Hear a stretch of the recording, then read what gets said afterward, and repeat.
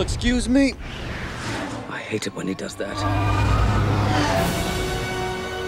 What if I told you that the Republic was now under the control of the Dark Lord of the Sith?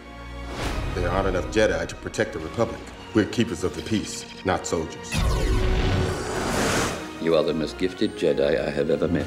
You're not all powerful. Well, I should be. Everything is going as planned. Begun. The Clone War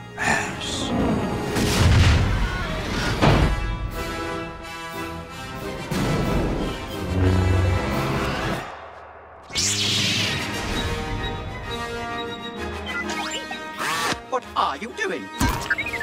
This is such a drag. A thousand generations, the Jedi Knights were the guardians of peace and justice in the Old Republic.